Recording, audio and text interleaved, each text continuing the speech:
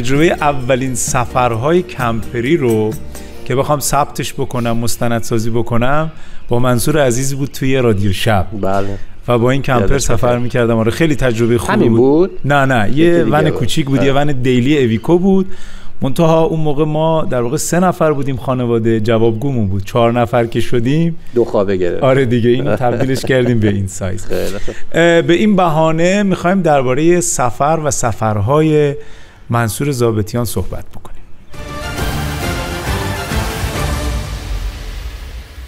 منصور من شنیدم که تو وقتی سفر می‌خواستی بری چه می‌دونم رادیوی اون کشورم گوش می‌کردی. آره. چرا؟ ببین من هر سفری که می‌خوام برم خب اینو قبل ترش بگم که تجربه یه برای کسایی که حالا سفر دوست دارن برند یا رویای سفر دارن. خب تو خودت که به حال این رویا رو عملیاتی کردی حتما بهتر از من می‌دونی. همه سفر رو همون روزهایی که تو در سفری می‌بینن. و میگن آخ چه عشق حالی داره می‌کنه این همش سفر رو ولی نمی‌دونن که خود سفر چه پروسه پردردسریه و پیش تولید سفر چقدر سخته. خب من از خیلی جلوتر از سفری که بخوام برم شروع می‌کنم به مطالعه. کتاب می‌خونم ادبیات اون منطقه رو می‌خونم نمی‌دونم مستند می‌بینم راجبش فیلم های سینمایی اون کشوری که می‌خوام برم و سعی می‌کنم پیدا بکنم. یکی از کارهایی که می‌کنم رادیوی اون کشور رو گوش میدم. حتی اگر زبانش رو ندونم. یعنی مخصوصا وقتی که توی ماشین هستم مثلا یه ساعت طولانی و تو ترافیک باشم رادیو گوش بدم یه دفعه رادیوی یه کشوری رو گوش میدم که قراره به اونجا برم. به خاطر اینکه با آهنگ کلامشون آشنا بشم با صداهاشون آشنا بشم با موسیقیشون از همه مهمتر آشنا بشم و خود این فرایند برام جذابه. و یه اتفاق جذاب و دوست دارم منصور تعریف بکنه. جستجو کنید رادیو ویتنام. عمران اگر مثلا ما چیزی ازش متوجه بشیم. بعد شنیدن رادیو ویتنام تو ویتنام منجر به چه اتفاقی شد؟ آره. اینو توی کتاب موها نوشتم در سفرنامه ویتنامم. آره خب همین کار داشتم می‌کردم یه روز سوار ماشین بودم که از دوستانم حالا شاید نخواد اسمش رو بگم تو هم میشناسیش سوار شد گفت این چیه؟ گوش میدی؟ نه گفتم رادیو ویتنام. رادیو قحطیه. رادیو ویتنام داری گوش میدی؟ چرا؟ من هم دلایل براش گفتم که بنا به این دلایل دارم گوش میدم. و یه کمی خندید. احتمالا تو دلش با خودش گفت که آقا این دیوونه ایه که حالا هر یا هر اصطلاح دیگه که خواسته به کار ببر بعد گذشت. گذشت یه روز من داشتم در شهر سایگون هوشیمین سیتی. می‌رفتم دیدم که یک بول اونجا یه بولوار اصلی بزرگ دارن که انتهاش می‌خوره به دریا. دیدم تهش رو بستن و استیج زدن. بعد دارن هم مثلا چیز رو آماده می‌کنن نور میچینن و اینا و صندلی می‌ذارن اینا. بعد من از دور وایستادم تماشا کردن و داشتم کمی عکس می‌گرفتم و اینا. بعد یه آقای قد بلندی که از اون موقع دیدم اونجا وایستاده بوده که هم داشت نگاه می‌کرد اومد رج خب دوست داشتم بدونم که اینجا چه خبره و خب در ویتنام تعداد کسی که بتونن انگلیسی صحبت بکنن خب خیلی کمه. خب طبیعتا ویتنامی صحبت کردنم که برای من ممکنه اون آقا که رد شد یه لحظه گفتم که شما می‌تونی انگلیسی صحبت بکنی؟ گفتش که با صدای خیلی خوبه پری گفت بله بفرمایید. گفتم که اینجا چه خبره اینا گفت اینجا شب برنامه است و رادیو هوشیمین سیتی. اینجا یه برنامه موسیقی داره و نمی‌دونم برای مردم. یه جشنی بود نمی‌دونم چه مناسبتی بود که داشتش این کارو می‌کرد. بعد همجور که صدا صحبت می‌کرد من اصلا دیگه به حرفش گوش نمی‌دادم. به آهنگ صداش گوش می‌دادم.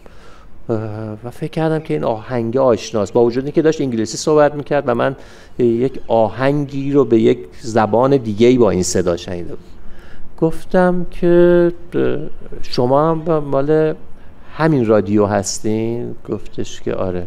گفتم شما گوینده این؟ گفتش که آره. گفتم برنامه فلان اسم برنامه رو هم نمی‌دونستم. گفتم برنامه ساعت فلان. چون گاهی هم با خودم فکر کردم که اون ساعت تهرون که من این برنامه رو گوش می‌دادم اینجا چه ساعتیه؟ چیز گفتم برنامه این چیز. گفت آره شما از کجا می‌دونید گفتم که من رادیوشون گوش میدم. گفتم آقا ویتنامی بلدی؟ گفتم نه نگاه کن گوشیمو نشون دادم اپ رادیوشون رو نشون دادم که اینه و اینا. گفت آره درسته همینه و بعد گفت بعد ماجرا براش توضیح دادم که من کیم و چیم و خلاصه دیگه برای من گفتش که حتما شبم بیا اینجا و برنامه رو ببین و اینا. و همون موقع برای دوستم پیغام فرستادم که دیدی حالا به چه درد خورد. جالب بود. من بی مقدمه اومدم تو ماجرای سفر و رادیو. دوست دارم بدونم که منصور زابطیان سفر رو از کجا شروع کرد؟ ببین از رویاهای دوره کودکیم بود. من یکی از کتاب مورد علاقم در دوران کودکی کتاب تن تن بود. تن تن دو تا ویژگی داشته که این بود که خبرنگار بود که این بود که به واسطه خبرنگاری می‌رفت سفر. و من خیلی برام این شخصیت جذاب بود که او چقدر شغل جذابی داره و چقدر داره میره این ورون و و نمیگم که تصمیم گرفتم که این همون موقع تصمیم گرفتم. نه خب خیلی شاید صادقانه نباشه. ولی آرام آرام جریان زندگی به جایی رسید که من هم خبرنگار شدم و هم چه به واسطه خبرنگاری چه بعدتر به واسطه به حال تصمیمات شخصی خودم شروع کردم به سفر کردن. بنابراین رویاش از دوره کودکی بود. ولی به هر حال وقتی که سربازیم تقریبا تموم شد آره دیگه یا در دوره سربازی است. در دوره سربازی دیگه شروع کردم به ایران گردی. این برام رفتن و سفرهای آروم شروع کردن تا اینکه در اواخر دهه هفتاد دیگه سفرهای خارجیم شروع شد. که شروع کردم کشور به کشور رفتن و و دیگه از اواسط اوایل شاید بگم دهه 80 شروع کردم به نوشتن درباره سفرها که در اواخر دهه 80 منجر شد به نوشتن سفرنامه ها یعنی کتاب کردن سفرنامه ها که تا امروز ادامه پیدا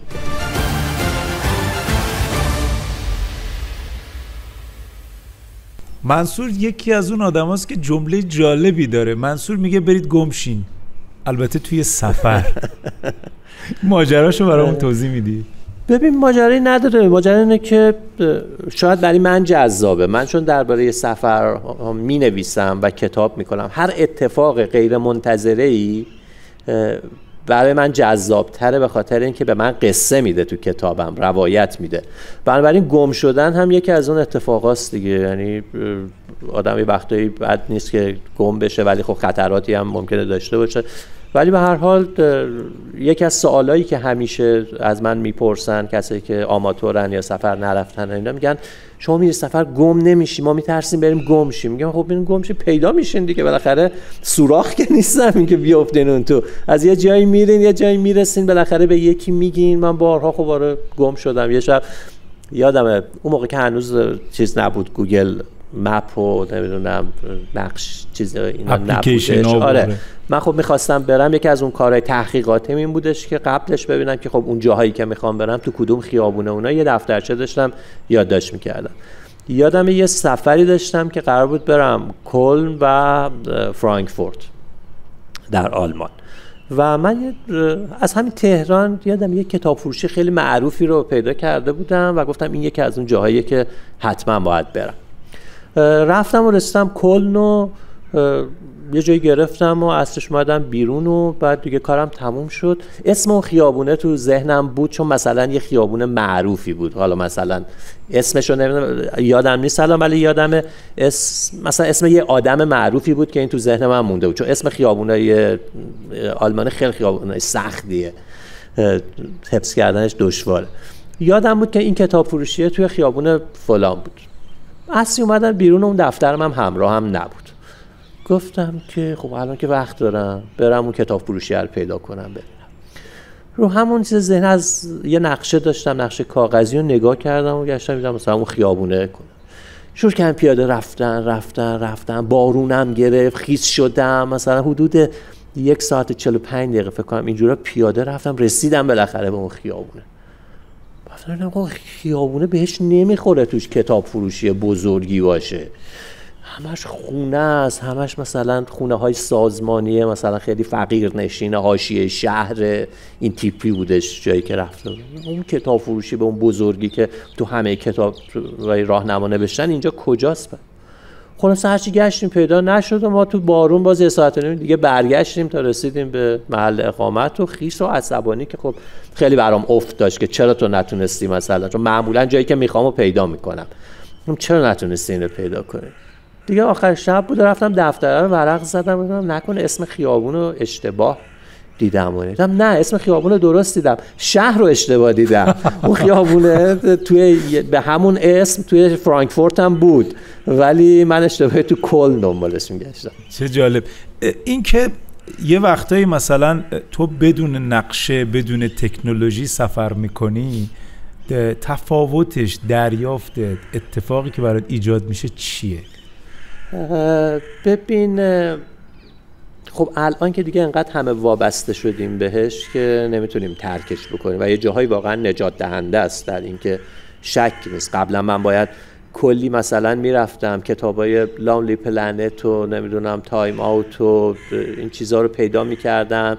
به سختی یا می‌گفتم از اون برام بفرستن یا اینجا مثلا با یه قیمت بالایی میخریدم که بتونم درباره یه کشوری اطلاعاتی بگیرم الان میرم توی اپلیکیشن مثلا Culture Trip هزار تا مقاله هستش تقسیم بندی های درست چیزای جذابی که به دردم می‌خوره. دفعه مثلا میگه آقا اگه می‌خوای بری فلان شهر این ده تا فیلمو ببین. خب قبلا یه همچین چیزی واقعا وجود نداشتش. خب نمی‌تونم کتمان بکنم اینا رو. ولی یه وقتهایی تکنولوژی در سفر ارتباط آدم رو با آدمهای دیگر از بین می‌بره. خب قبلا من وقتی دنبال یه آدرس میگشتم از هزار نفر میپرسیدم. بعد تو این پرسش ها با یه آدمی آشنا می شدم یکی می گفتش که خب بیا با هم دیگه بریم. من دارم میرم اونجا. تو این مسیر با هم حرف می زدیم یکی دیگه می گفت نه از این اینجایی که داری میری خوب نیست. برو اونجا مثلا. می گفت مثلا می‌خوای بریم خیابون دنبال چی؟ می گفتم مثلا میرم دنبال می گفت نه نه برو اون خیابون مثلا فلانجاش بهتره. این ارتباطات رو تکنولوژی قطع کرده. برای همین من خیلی وقتا میشه همچنان در سفر یه روزی اصلا موبایلمو بیرون نمیارم. رو نقشه کاغذی میرم جلو. یا یه وقتایی اصلا میام بیرون فقط صداها رو گوش میدم. یعنی اصلا موبایل نمیارم که نخوام درگیر عکس گرفتن و فیلم گرفتن و search کردن و این چیزا بشم. میام فقط دستم می‌کنم تو جیبم قدم می‌زنم و صدای شهر رو گوش میدم. بوهای شهر رو در واقع سعی می‌کنم save بکنم تو ذهنم که هر شهری چه بویی میده و چه بویی مثلا میشه اون شهر رو به یاد آورد. چه جذاب. احتمالا خیلی الان کنجکاو هم بدونن که منصور زابطیان وقتی سفر می‌کنه توی تکنولوژی دو سه تا از نرم افزارهای یا اتفاقایی که خیلی کاربردی داری استفاده می‌کنی چیا هستن؟ خب همین نرم افزارهای در واقع مسیریاب که اصلا الان دیگه نمی‌تونی بدون اونا بری. میگم نمی‌تونی اینجوری نیست که نتونی به خاطر اینکه سالها من بدون همونا سفر می‌کردم. کما که قبلا همه ما توی تهرون بدون این نرم افزارا رانندگی می‌کردیم راهمون هم پیدا می‌کردیم. هیچ وقت هم گم نمی‌شدیم. آدرس هم تازه میپرسیدیم آره. ارتباط ایجاد بله. می‌شد؟ اتفاقای جدید الان خونمون هم می‌خوایم بریم. بلا آره. فاصله داریم مثلا ویز می‌زنیم ببینیم که آقا از کجا بریم. اون هوش شهروندی رو از ما گرفته که بدونیم که آقا کجا من همیشه وقتایی شوخی می‌کنم با راننده های مثلا اسنپ و اینا که از ویز تعریف می‌کنن و این چیزا. میگم آره خیلی خوبه خیلی خوبه نرم افزار خوبه یه مشکل دارم فقط. یه چی میگم؟ بچه تهرون نیست. یه چیزایی که برای بچه تهرونی که سالها مثلا اینجا زندگی کرده بزرگ شده یه کوچه. ممکنه ویزم حتی اون کوچه رو نشناسه. یا خیلی جاهایی که بالاخره یه پاتوقیه در تهران یک چیزی رو که هیچ نرم افزاری نمی‌تونه به شما بگه چیه. کالچر تریپ رو خیلی دوست دارم و تریپ اوسو این دوتا خیلی به نظرم نرم افزارهایی که به شدت می‌تونه به آدم کمک بکنه که چیزهایی سلکت شده رو انتخاب بکنه. مثل همین چیزهایی که میگم. یا مثلا فرض کن که آقا اگر فقط دو روز تو فلان شهر بودی یا اگه فقط 100 دلار داشتی مثلا در این شهر چیکار بکن؟ خیلی بهت ایده های خوبی میده. یک نرم افزاری هستش که نرم افزار سفر نیست. ولی خیلی من تو سفر ازش استفاده می‌کنم من باب همون تحقیقات اولیه و بعد تو سفر چون من توی سفر هم معمولا بیشترین چیزی که گوش میدم رادیوی اون کشوره و موسیقی اون کشوره. یک نرم افزاری هست به اسم گاردن رادیو. نمی‌دونم دیدی یا نه, نه فوق است. این اصلا یک جهان زندگیه برای من. و این شکلیه که تو نرم افزار که باز می‌کنی یه کره زمین میاد و تو می‌تونی روی اون بچرخی هر جایش که دوست داری و پر از نقطه های سبز روشنه که هر کدومش یک رادیوییه. آره یه ایستگاه رادیوییه و بعد اون نقشه اون کشور یا اون شهری که می‌خوای بری یا حتی اون منطقه شهر رو انتخاب می‌کنی و رادیوی اون منطقه رو انتخاب می‌کنی و گوش میدی. این این بیشتر نرم افزار که حتی از مثلا گوگل مپ و ویز و اینا هم بیشتر من استفاده میکنم ازش Поэтому они резко усугубляют сдавливание мочевого пузыря. Мучительные симптомы усиливаются в разы, но самое главное, что эти узлы... Ce qu'on lui dit tant que euh, le oui, chef est là. On en revient, voilà, voilà. On en revient quand, à ce le, quand, quand le chat est là. رادیو کمپر رو میبینید و میشنوید و من که واقعیتش از تجربه منصور دارم لذت می‌برم و حالا حالا ها نمی‌خوایم برنامه تموم بشه. ولی خب یه تایمی داریم که سعی می‌کنیم سوالات اساسی آره هر وقت من پرحرفی کردم بگو. نه نه من که دارم استفاده می‌کنم. سردته؟ آره اینجا یه کمی سرده. می‌خوای یه بخاری بیاری اینجا؟ هستا؟ ما سریع ببین این خونمونه. همه چیز داخلش هست. خب بیارین ببینیم آره. چه شکلیه بخاری یه دقیقه بخاری برقیه رو بیاری برقش رو کجا می‌زنید برق همینجا. اینزی آره. خب تا بخاری بیاد. تو سردت نیست مهدی؟ شما سرد شما تو آفتاب وایسادید دیگه. نه اونا هم وایستادن هم درجا می‌تونن کمی حرکت بکنن گرمشون بشه ما نشستیم. خیلی خوب بود.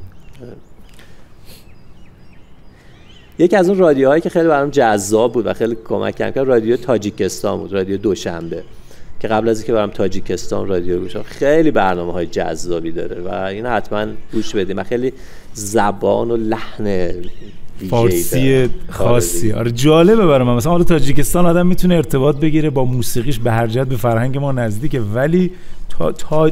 تایلند و نمی‌دونم اینجور چیزا. خب اجازه. من این داشته باش. تا درست کن. خب حالا باورت شد که باورت شد که خونمون هم رومونه چایی هم داریم تو خونه بعد دیگه ببین. بخاری داریم دیگه چایی که چیزی نیست. یه ویژگی خیلی خاصی که منصور داره و به نظرم برای شماها خیلی جذاب می‌تونه باشه اینه که منصور خیلی کم هزینه سفر می‌کنه. چجوری بلدی کم هزینه سفر بکنی؟ ببین وقتی میگه کم هزینه مردم این اشتباه نکنن که یعنی بی هزینه. سفر هزینه داره. که بالاخره شما هر کی علاقه مندی داره در زندگی براش تلاش می‌کنه منم علاقه مندیم سفره. خب به واسطه سفر خیلی تجربه کسب کردم. ولی خیلی چیزها هم ندارم. شاید اگر این سفرها رو نمی‌رفتم خب خیلی چیزهای دیگه ای داشتم که الان ندارم. ولی خب ناراضی هم نیستم. خدا رو شکر. برای همین به این معنا نیستش که بدون هزینه برن سفر و ریسک های خیلی بزرگ بکنن و اینا. و هر حال من معتقدم که آدم باید توی خونه اگر قرار برگرده یک اطمینان خاطری داشته باشه که آقا وقتی برمیگردم یه سرپناهی دارم یه شغلی دارم یه چیزی دارم که این در سفر بهش اعتماد به نفس میده و قدرت ریسکش رو بالاتر می‌بره. ولی ببین سفر خودت که بهتر از من می‌دونی یک مهارته. مهارت هم در طول زمان پیش میاد. یعنی تو تجربه می‌کنی هی و بعد می‌بینی که خب چه چیزهای جدیدی یاد می‌گیری و کجا می‌تونه این برات در واقع کم هزینه تر بشه. شاید اگر سفری که من الان می‌خوام برم با x تومن اگر قرار بود که 15 سال پیش می‌رفتم 20 سال پیش می‌رفتم 3 x تومن هزینه داشت. به خاطر اینکه خیلی چیزا رو نمی‌دونی. از گرفتن بلیت در زمان مناسب بگیر تا گرفتن محل اقامت راه حل هایی برای اینکه مثلا اقامتت مجانی بشه یا حداقل قیمت برسه. غذا خوردن نمی‌دونم پیدا کردن راه هایی که بتونه مثلا یه شب هزینه رو کمتر کنه. مثل اینکه اگر تو از یه شهری می‌خوای بری یه شهر دیگه خب اتوبوس شب رو بگیری یا قطار شب رو بگیری که نخوای هزینه هتل بدی یه شب اقامت بری. یا اینکه اگر مثلا یه جایی رو پیدا بکنی که اگر قرار صبح زود مثلا بخوای بری به فرودگاه یا محلت رو ترک بکنی دیگه پول هتل ندی یه جایی بتونی بری که مثلا تا آخر شب باز باشه یا تا صبح باز باشه و بتونی اونجا بشینی مثلا سرگرم بشی. جدای از همه اینها من اساسا آدم خیلی پرخرجی نیستم. یعنی آدمی نیستم که مخارج خیلی عجیب و غریبی در سفر داشته باشم. خیلی عادت دارن لاکچری سفر بکنن. خب بدم نیست. حالا بالاخره اگر که پولاش داشته باشن برن خب نوش جونشون.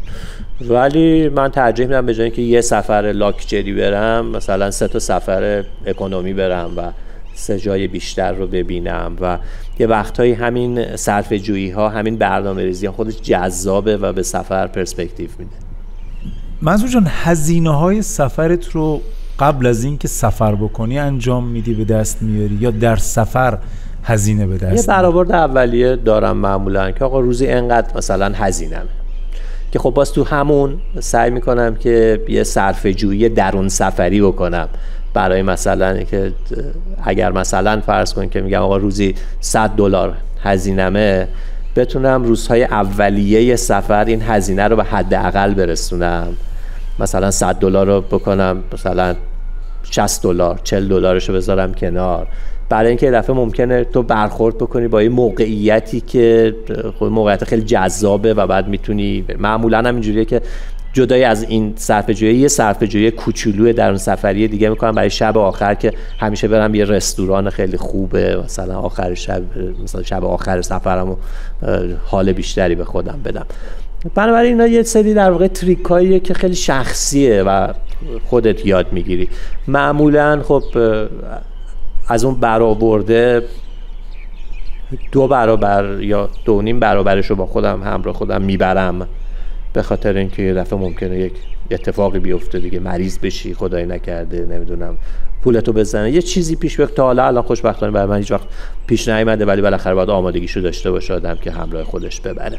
یکی از اتفاقایی که اوایلی که سفرم شروع کرده بودم انجام می‌دادم و درآمدم خب کم بود. این به این معنا نیست که الان درآمدم زیاده. به این معناست که خب بالاخره الان تکلیفم با زندگی معلومه. موقع که جوانتری تو می‌خوای بالاخره زندگی تو بسازی دیگه.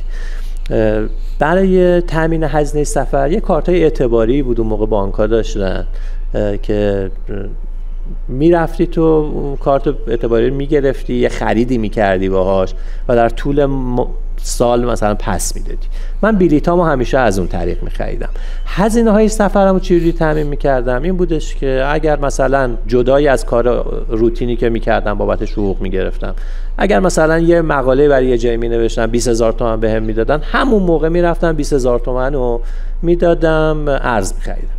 یا مثلا فرض کن می‌خوام بگم که در چه تا چه اندازه مثلا رسوخ داشت در زندگیم. اگر می‌رفتم یه جوزی مثلا حواس پیتزا کرده بودم. می‌رفتم مثلا فرض کن پیتزا چه دارم ده هزار تومن بود می‌خواستم بخورم. می‌رفتم پیتزا از سفارش بدم. گفتم نه بذار ساندویچ بخورم که دو هزار تومنه. دو هزار تومن ساندویچ می‌خورم ولی هشت هزار تومن رو می‌رفتم مثلا هشت دلار میخریدم اون موقع. مثلا. می‌خوام بگم اینجوری خورد خورد خورد خورد جمع می‌کردم تا به یه حدی که می‌رسه می‌گفتم خب حالا الان می‌تونم برم سفر. هیچ وقت تو سفر هم کار می‌کردی؟ یعنی درآمد دلاری داشته باشی؟ نه. نه. نه به خاطر اینکه خب سفرها من به واسطه اینکه اینجا کار داشتم همیشه باید مثلا چه 15 روز 20 روز بود اینا این زمانی نبودش که اگه بخوای تو کار بکنی در واقع زمان تو برای دیدن از بین می‌بره. برای همین هیچ وقت بهش اصلا فکری نکردم که این کار رو بخوام بکنم. درسته.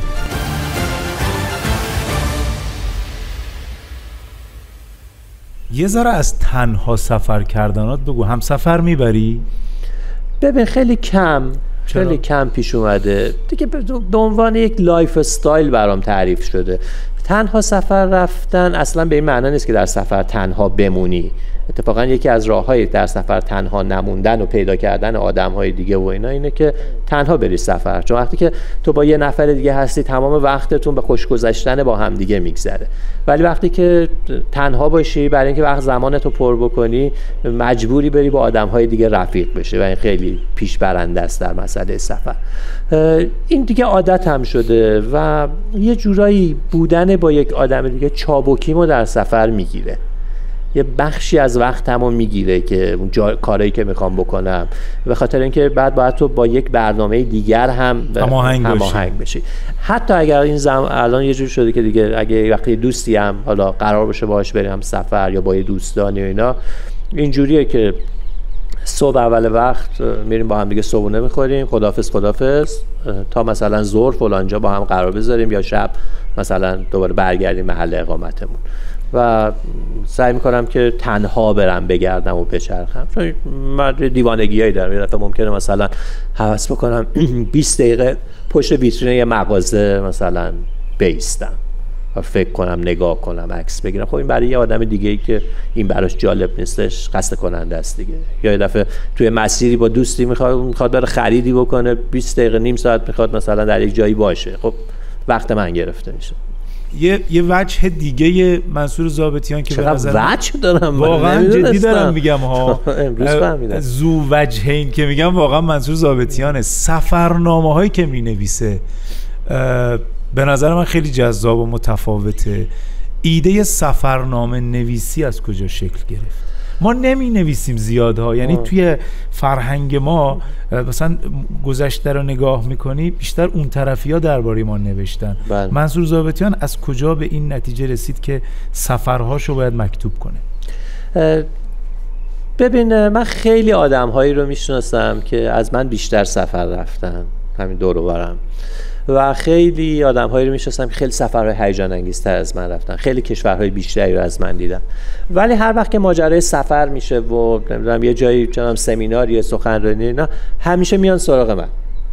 و این دلیلش من نیستم. دلیلش سفرنامه است. دلیلش اینه که این سفرنامه ها مکتوب شده و همیشه من تو کلاسات همین رو میگم به بچه ها میگم آقا مکتوبش کنین و حیف این همه تجربه های جذاب.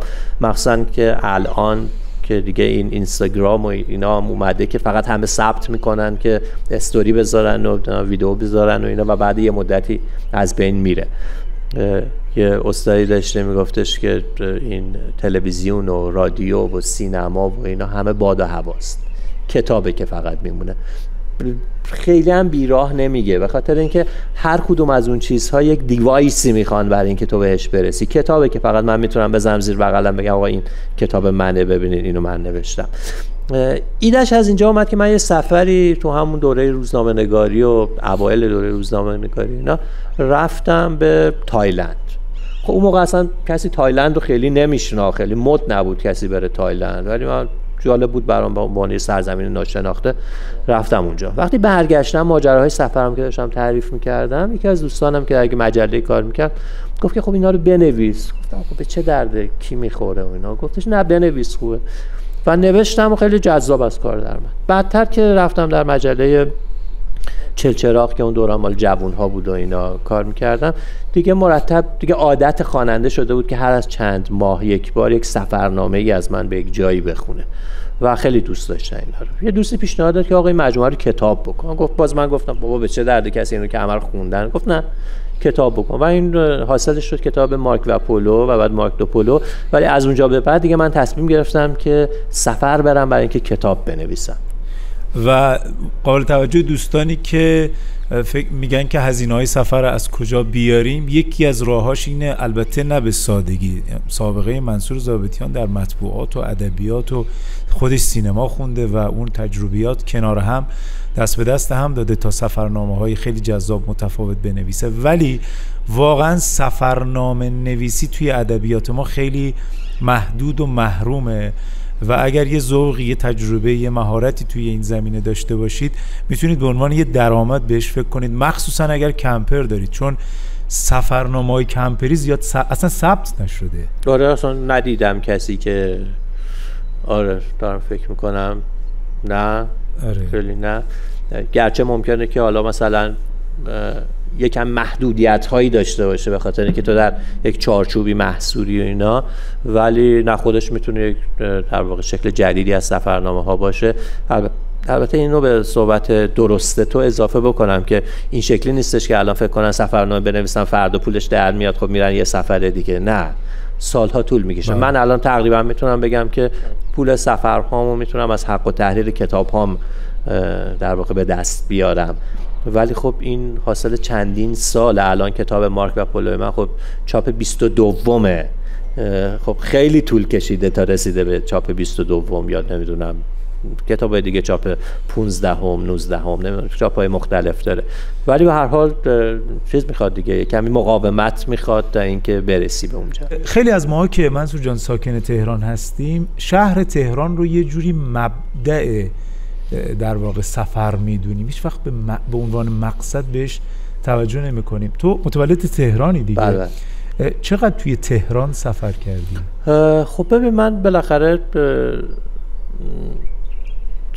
تهران رو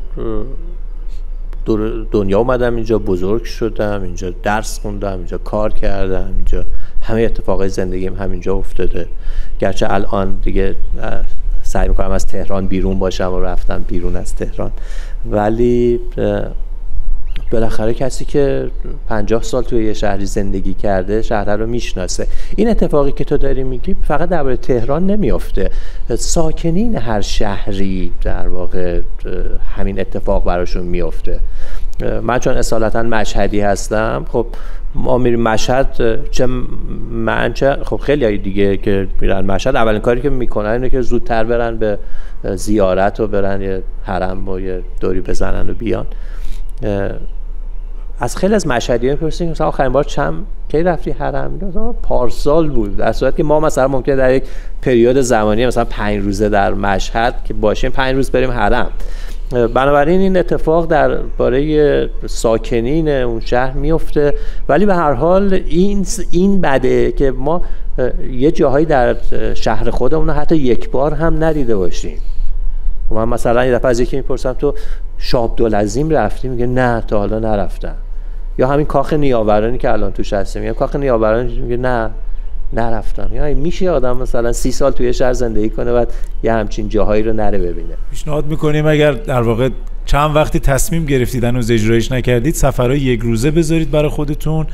با همین کاخ نیاوران هم می‌تونید شروع بکنید. چهار تا موزه داره دو تا موزهش هم به دلیل مرمت فعلا تعطیله و هم هوای جذاب اتفاق خوب و بناهای مثلا همین صاحب قرانیه مال 170 سال پیش ظاهرا سی سالگی سلطنت ناصر الدین سی و یکمین سال. آره به عنوان صاحب قران.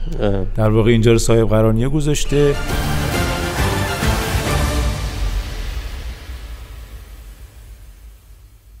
شخصی دارم. همسر من سال شخصی داره.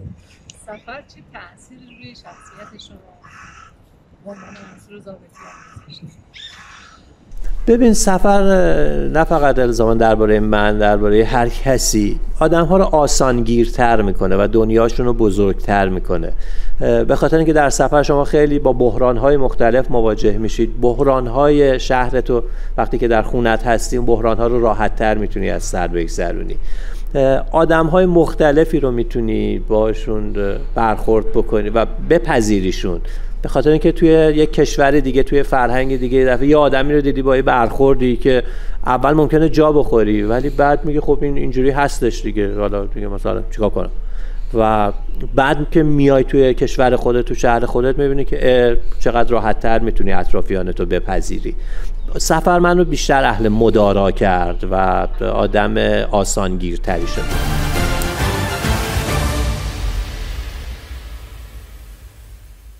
جالبه. اینجا توی حیات صاحب قرانی من شنیدم که جریان مشروطه اینجا امضا شده مزفر الدین شاه. بعد اولین صدایی هم که ما ضبط شده داریم توی ایران مربوط به ایشونه. بله مزفر الدین شاه. شنیدی اون صدا رو؟ بله بله خیلی هم به مزفر الدین شاه از خودش تعریف می‌کنه. خیلی صدای عجیبیه که اولا که خب به هر حال جذابه که یه همچین صدایی باقی مونده. ولی این ادبیات مظفرالدین شاه اینکه خودش رو سایه خدا می‌دونه اینکه اینکه که انشالله آره که اجر شما رو ما خودمان که سایه خدا هستیم به شما بدهیم و اینا. خیلی جالبه. ولی جالبتر از اون اینه که به هر حال اولین صداییه که باقی مونده و من همیشه با خودم تصور می‌کنم جهان قبل از اینکه صدا رو بتونه یه جایی ثبت بکنه و نگه داره چه شکلی بوده؟ چه جوری بوده؟ و چقدر داده از دست داده در اون سالها؟ فکر کنم الان خیلی از شنونده ها و بیننده های ما کنجکاو شدن. اگر صدای مزفر الدین شاه رو نشنیدید اجازه بدید همین اول چون در موردش صحبت شد اولین صدای ضبط شده توی ایران رو با هم بشنویم. از خدمات سابق و به حال چهل سال از خدمت می‌کنید از همه خدمات شما راضی هستم. به خصوص از خدمات این سه چهار که در صدارت خودتان می‌کنید و انشاءالله عوض اینها را همه را به شما مرحمت خواهی فرمود. و شما هم ابدا ذره در خدمات خودتان انشاءالله قصور نخواهید کرد. و مرحمت ما را به اعلی درجه نسبت به خودتان بدانید. انشاءالله رحمان بعد تا صد سال که خدمت بکنید امیدوار هستم که همیشه خوب باشه. و این خدماتی که به من می‌کنید به مملکت ایران می‌کنید البته خداوند او را بی بی عوض نخواهد بود انشاءالله عوض او را هم خدا و هم سایه خدا که خود هم باشن به شما خواهم داشت از خدمات همه وزرا هم راضی هستیم. به شما هم خدمات همه را حقیقتا خوب عرض می‌کنید و همه را به موقع عرض می‌کنید مسعود جان رابطت با رادیو از کی شروع شد؟ از خیلی بچگی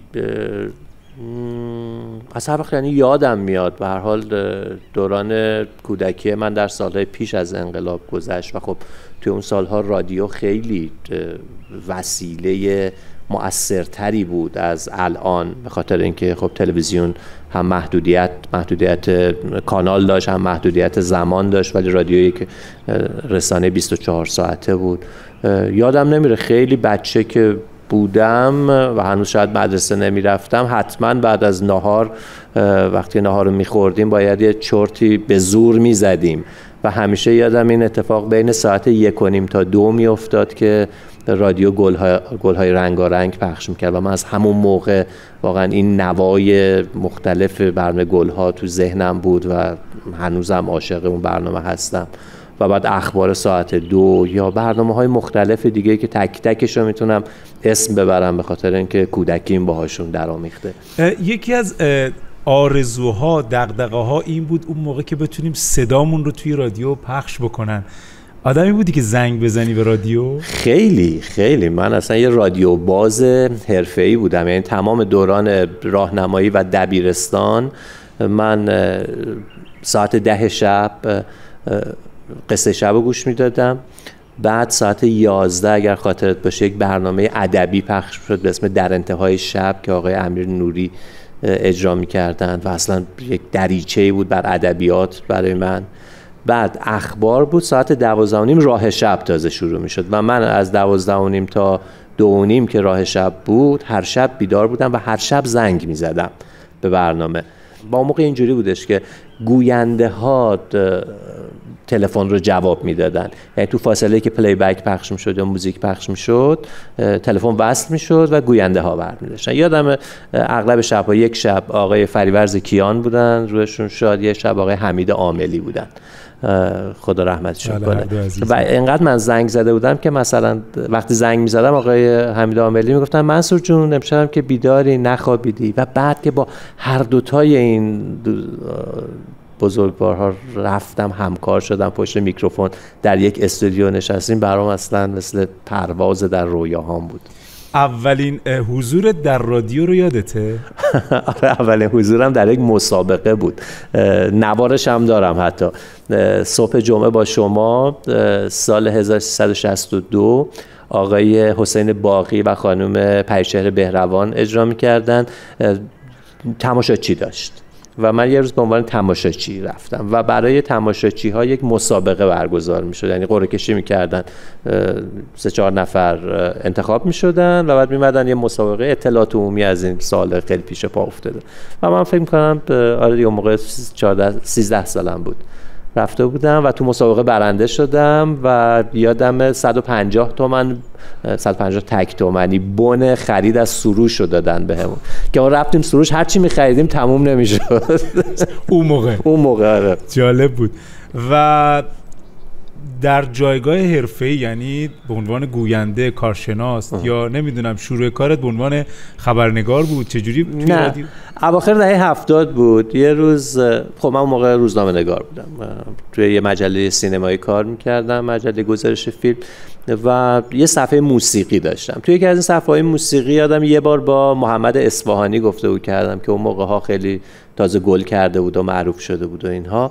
بعد صحبت رادیو شد و علاقمندی به رادیو. گفتم من خیلی رادیو رو دوست دارم. گفت من یه دوستی دارم تو رادیو ولی تو رادیو قرآنه.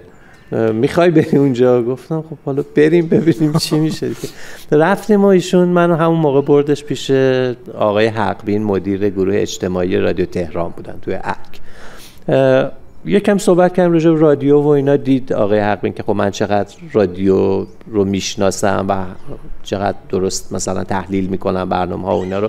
گفت می‌تونی مثلا یک هفته بیای سر برنامه صبح ما و بگی مثلا ایرادش چیه نقطه نظراتش. منم گفتم آره از خدا می‌خواستم. اومدم و یه هفته میشستیم اونجا تو استودیو بعد یه تحلیلی دادم و اینا. یواشاش بهم گفتن که می‌تونی بیای مثلا یه بخشی به عنوان کارشناس فرهنگی اجرا بکنی و خیلی پیشنهاد خوبی بود برای من و قبول کردم. و همون باعث شد که چند وقت بعدش دیگه به عنوان گوینده توی برنامه عصر اسب خیر تهران مشغول بشم و دیگه برنامه های مختلف دیگه تا تا امروز دیگه که گاهی بودم گاهی نبودم.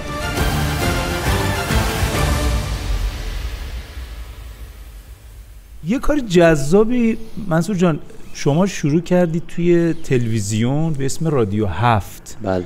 من یادم اون موقع که من رادیو کار می‌کردم می‌گفتن که اصلا ممنوع گوینده از رادیو بره تلویزیون به خاطر اینکه اون تخیل پردازی که مخاطب با گوینده خودش داره اون به هم میریزه.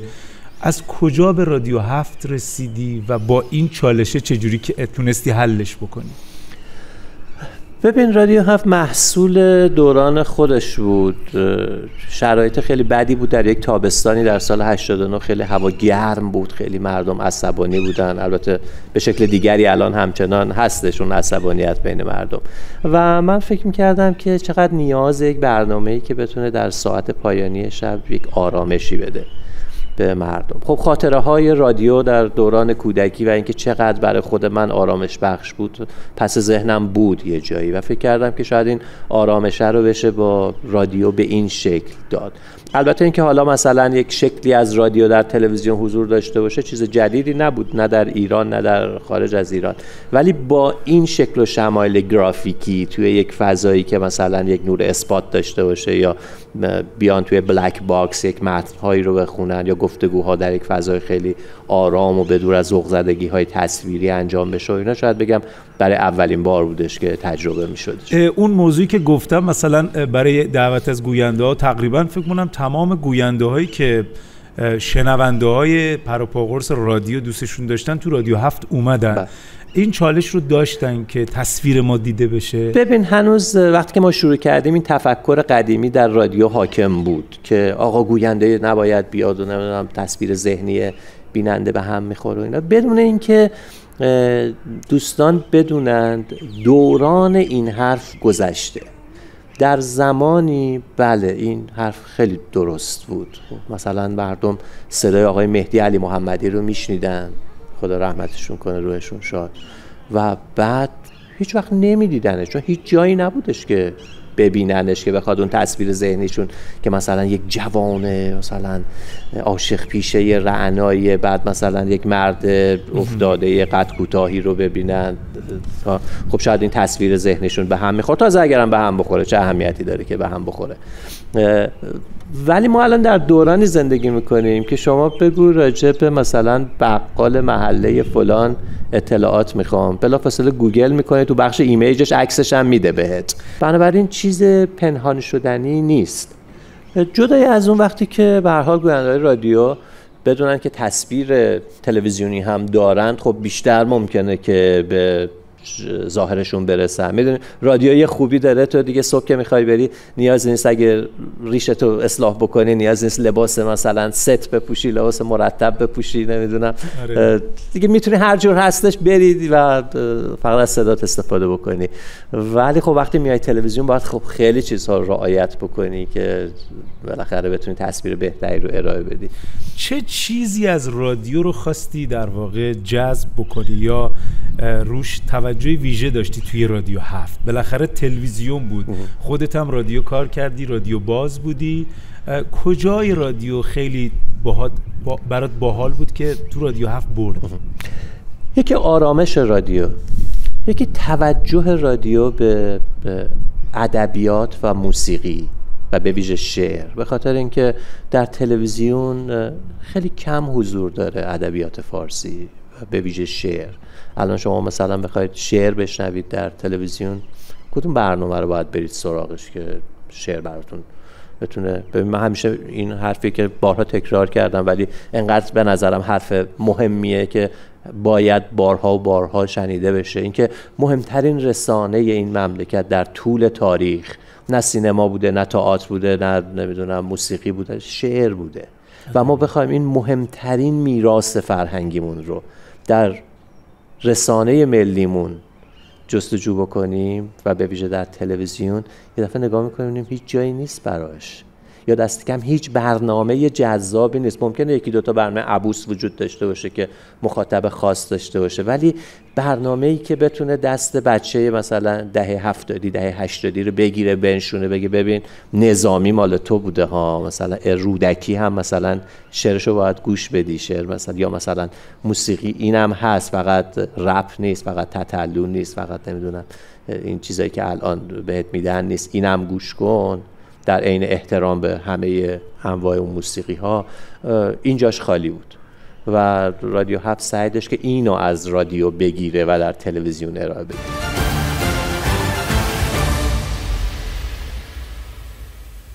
به نام خدا خانم ها آقایان اعضای محترم خانواده بزرگ رادیو هفت در سراسر ایران و جهان سلام و درود بر شما. امشب پنجشنبه 23 مرداد 1393 خورشیدیه و من منصور زابتیان هستم. در استودیوی شماره یک برنامه رادیو هفت 949 مین برنامه تقدیم حضور شما میشه. دوستان من در تهیه تولید و پخش این برنامه ضمن اینکه به شما سلام رسوندن اظهار امیدواری کردن که بتونن ساعت خوشی رو تا حوالی یک بامداد برای شما فراهم